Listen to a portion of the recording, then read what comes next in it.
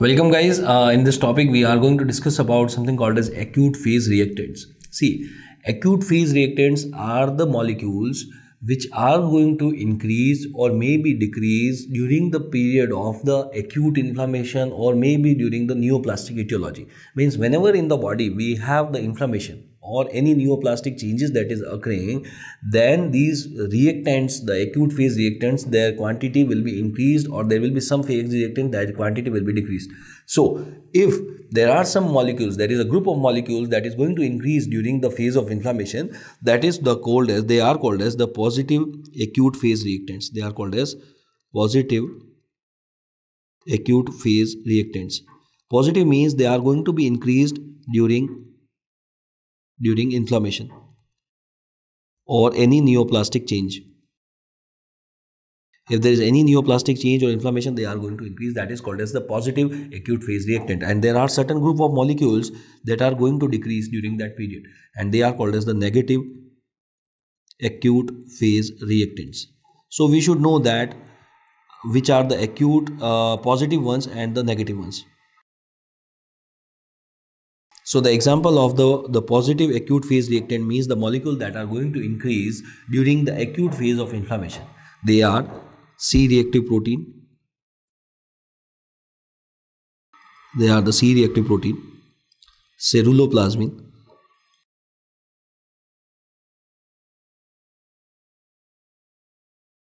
fibrillin.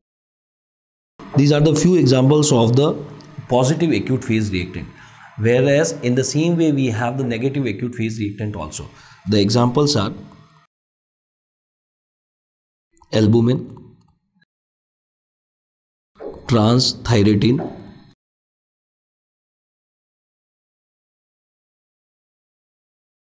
so these are the two main negative acute phase reactants so what we have understood till now regarding the phase the acute phase reactant is either they will be increasing, there will be some uh, molecules that will be increasing during inflammation and there will be some molecules that will be decreased during the inflammation part. So this is the concept behind the acute phase reactants.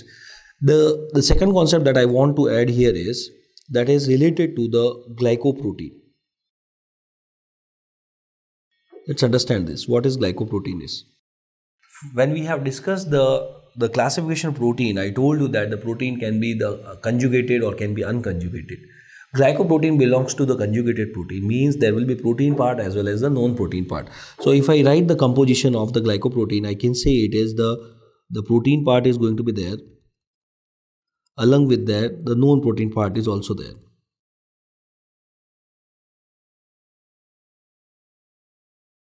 Protein as well as the non-protein part. The known protein part that we are talking about is a carbohydrate that is oligosaccharide. That is a oligosaccharide. So we are going to add the oligosaccharide on the protein molecules that is going to make the glycoprotein. When it comes to the types of glycoprotein, types of glycoprotein, the glycoprotein is basically divided into three types. The N type of glycoprotein, the O type of glycoprotein and the GPI type of glycoprotein. There are three, I can say the subtypes of glycoprotein. We have N type, O type and the GPI type of glycoprotein. Now what is N type of glycoprotein? Means what you are doing is you are going to add the carbohydrate. Where you are adding the carbohydrate depending on the protein where you are adding the carbohydrate we have divided that uh, subcategories of glycoprotein. Means if we are adding the uh, the oligosaccharide on the amino group that will be called as the n type of glycoprotein. Means n means here is the amino group. So i can say oligosaccharide is added on the amino group.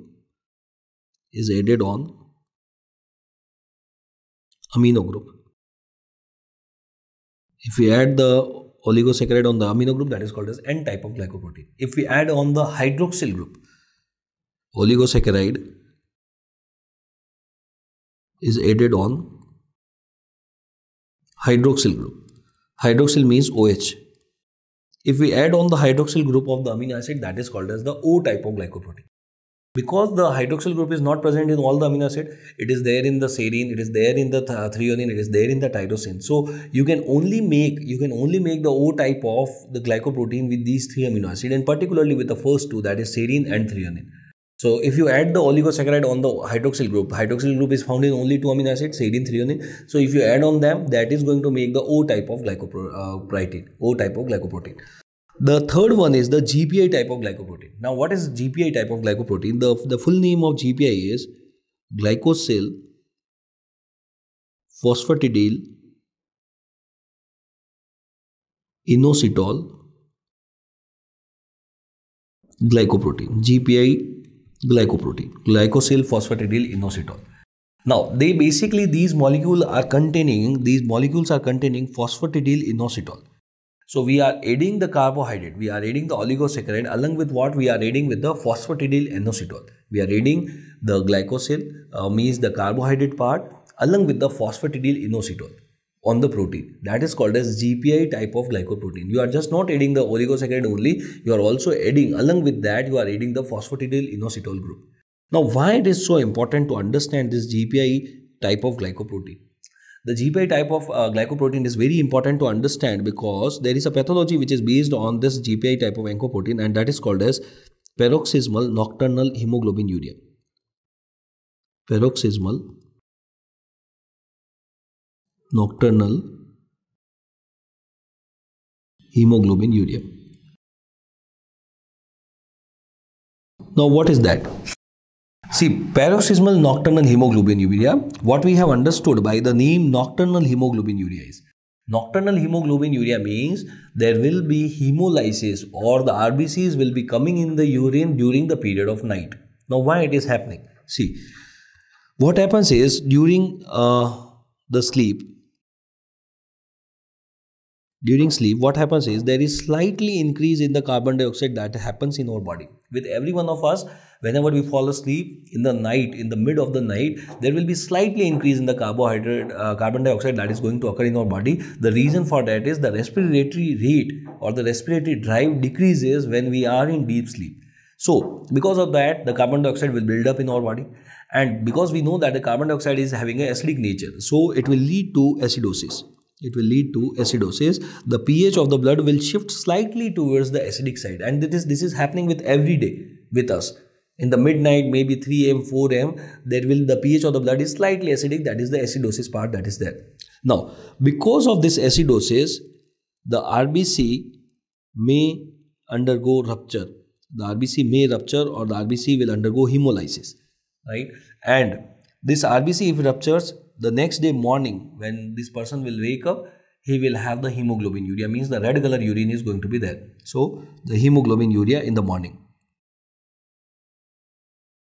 Hemoglobinuria is occurring in the morning.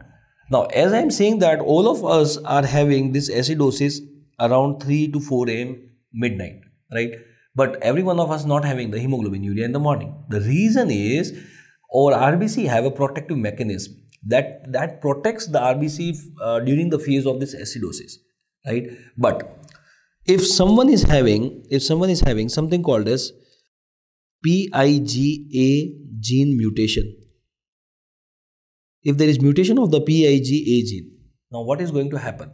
If this PIGA gene is mutated, then what happens is that in the RBC we have something called as the GPI anchored proteins normally we have the GPI anchored anchored proteins. What these GPI anchored proteins will do is they are protecting us from the they are protecting us from the hemolysis during the acidosis phase. Now, if the pig A gene is mutated, these GPI anchored proteins are non-functioning. Are non-functioning. If the GPI anchored proteins are non-functioning, then the hemolysis is going to occur. And the, the, the, the GPI anchored proteins that we are particularly of concern right now is the CD59 and the decay accelerating factor. Decay accelerating factor. DAF. So normally in uh, in a normal healthy individual, this decay accelerating factor and the CD59 they are working via this GPI anchored protein normally, and that is preventing the acid uh, hemolysis during acidosis. But if someone is having mutation of the PIG A gene, then the GPI anchored protein will not be made properly. Then the CD59 and the decoxing factor will not work. And if they will not work, CD59 decoxing factor will not work.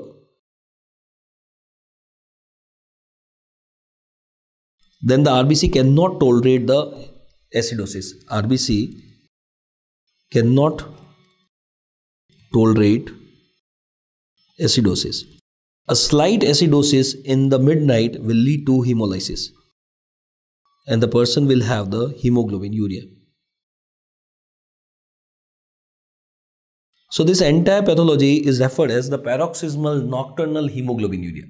The reason is the hemolysis is occurring in the night but that will be evident in the next day morning. So it is called as paroxysmal. This is the reverse. So paroxysmal nocturnal hemoglobinuria. What is the basic pathology? What is the basic pathology? This they what they ask in the exam is the basic pathology is the PKG gene mutation.